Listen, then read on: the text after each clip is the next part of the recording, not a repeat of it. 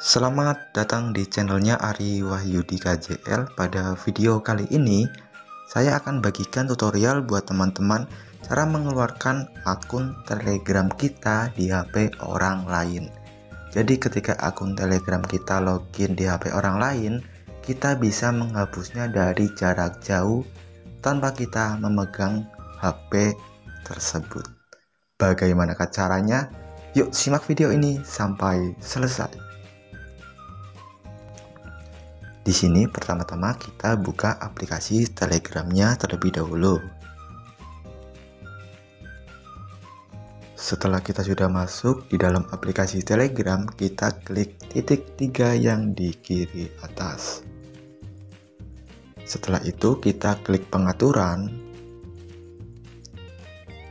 Dan setelah kita klik pengaturan, di sini kita klik privasi dan keamanan. Setelah itu kita klik perangkat. Maka akan ada keterangan perangkat yang sudah login dengan akun Telegram kita ya. Di sini hanya satu HP ya teman-teman.